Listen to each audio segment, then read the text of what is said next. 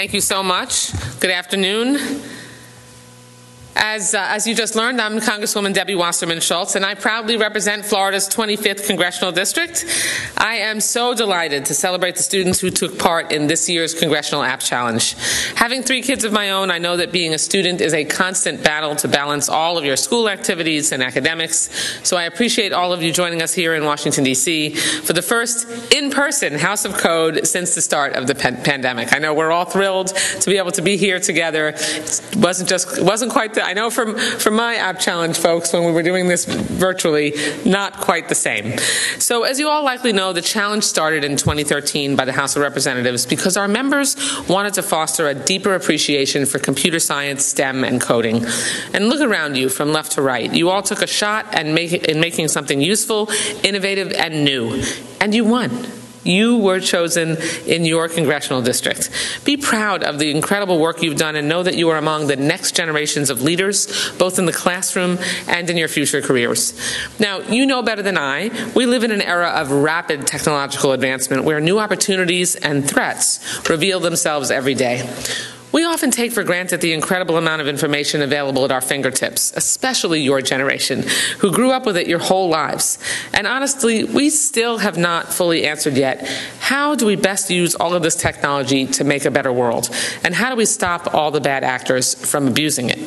That is where all you all come in.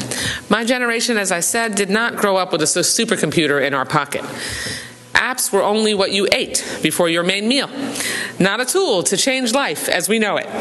By mastering this technology at an early age, I'm making myself sound like a geezer. I, uh, I am one of the, the you know mid range members of Congress in terms of chronological age. So just just so you know, but but by mastering this technology at an early age, you can uncover the full potential of the digital age and harness it to make everyone's life better.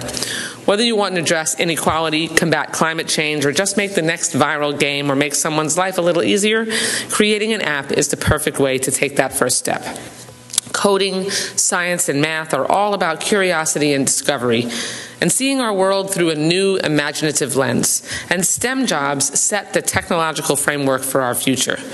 But we need to do a better job of inspiring young people, especially young women and people of color, to pursue a career in STEM. These jobs are high paying and impactful, but today, only 26% of computing jobs are held by women, and only 32% by people of color. Opportunities in tech are incredibly appealing, but we need to bring diversity and inclusion to the booming tech industry.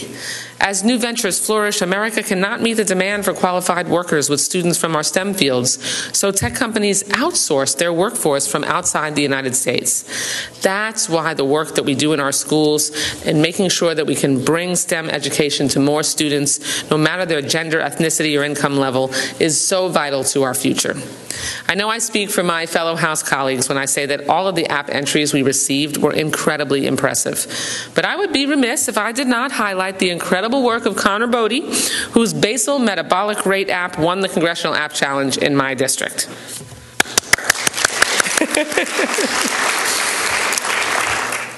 Connor's app helps those trying to gain, maintain, or lose weight and track their calorie count. I don't know about you, but that's something that I might have an interest in. So, with the user's height, weight, and age, Connor's app calculates their basal metabolic rate, or the number of calories needed to maintain homeostasis or optimal bodily function or balance.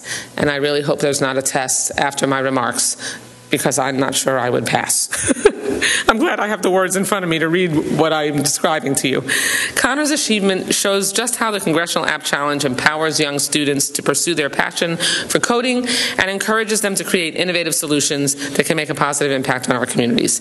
I am so proud to have him and his work represent our district. Connor, are you here? There you are. Good, good to see you. What? No, no, no, you're good. You're good. Thank you. Thank you. And finally, thank you so much to each and every one of you for taking up this challenge. Throughout your coding journey, you'll undoubtedly face a raft, you undoubtedly faced a raft of bugs, glitches, and real moments of frustration, but you persevered, you collaborated, and the apps you created are a testament to your resilience, creativity, and innovation. I have no doubt that you will continue to achieve remarkable things in your future endeavors, endeavors and I cannot wait to see what incredible apps and innovations you'll come up with next. Thank you so much for all of your participation, and congratulations on a job well done. And Connor, I'm coming to you now.